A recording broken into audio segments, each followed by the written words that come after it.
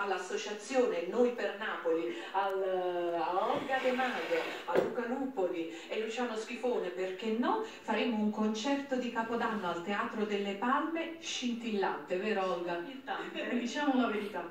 E io ribadisco quello che appunto Lorenza ha appena confermato, che l'associazione Noi per Napoli opera nel settore da 25 anni e si occupa molto del settore artistico e culturale.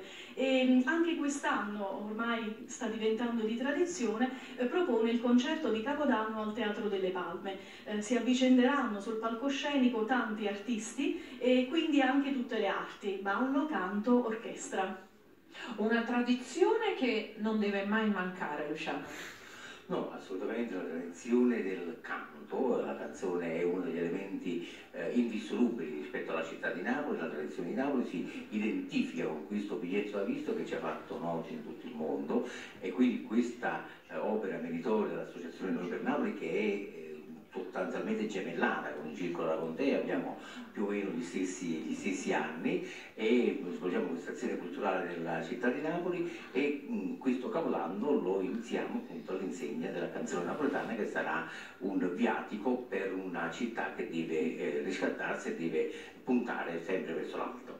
Il nostro tenore Luca Luppoli, allora come ha detto Olga sarà molto articolato questo concerto di Capodanno, Entriamo un po' nel dettaglio, come sarà articolato, che cosa succederà il primo gennaio 2017 sul palco del Delle Palme? Prima di tutto sarà, diciamo, come già detto da Olga, eh, protagonista la musica a 360 gradi, la danza, l'orchestra e il canto. E vogliamo partire con un repertorio che avrà un'escursione dalla romanza salotto dell'Ottocento, passerà poi per l'operetta, la canzone classica napoletana e arriverà fino ai giorni nostri con i musical, le classic parade, e le colonne sonore dei film più grandi della, della, storia, quindi ecco perciò quindi un excursus anche storico e culturale della musica, però sarà godibilissimo e sarà veramente una festa della musica per regalare agli spettatori che verranno quel giorno un inizio di, di anno veramente brillante e in allegria e spensieratezza.